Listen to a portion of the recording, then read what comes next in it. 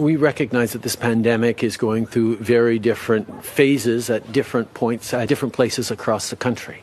Um, one size fits all will not work for a country as diverse as Canada, uh, but the overarching principles are extremely important. We know, uh, regardless of where you are in the country, we need to get through this first wave before uh, we can uh, we can start uh, releasing uh, some of the rules around social distancing and staying at home.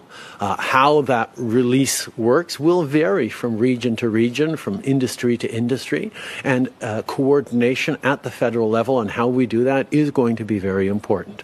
It will be weeks more before we can seriously consider uh, loosening the, the restrictions. It would be terrible if we were to release restrictions too early.